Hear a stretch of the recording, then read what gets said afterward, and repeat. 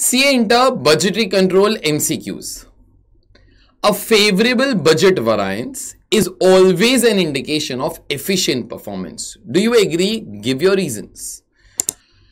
A favorable variance indicates saving on the part of the organization. Hence, it indicates efficient performance of the organization. Okay, that's A. B. Under all these situations, a favorable variance of the organization speaks about its efficient performance. I think in this case, A and B are more or less bit similar. C.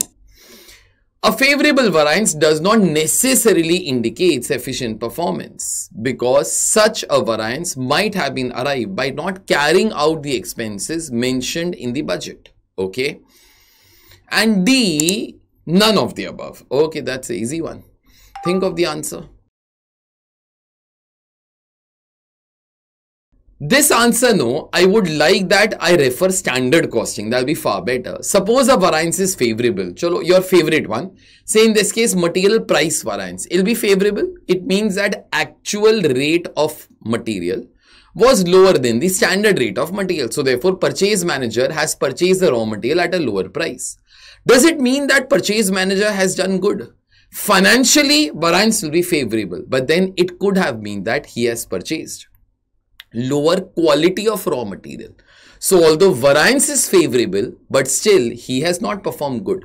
Because variances only take care of the financial measure. They don't try to be taking care of the other one. Let me give you one more example. Say wage rate variance. Workers had to be paid at the rate of 5, but they were paid at the rate of 4 rupees. So therefore, wage rate variance will be favorable does it mean that workers have done good or suppose like you know the manager who is responsible for giving the wages has done good? No. It could have been that he has employed unskilled workers in place of the skilled workers and that is why he paid them less so therefore although he saved in terms of wages but then in terms of work that must have been done by these people, it might not have been good. So therefore, a favorable variance does not always mean that some great work is done by the managers. You have to try to see the other non uh, non-quantitative factors also like the quality of the work done, quality of the materials purchased, etc. So answer should be C.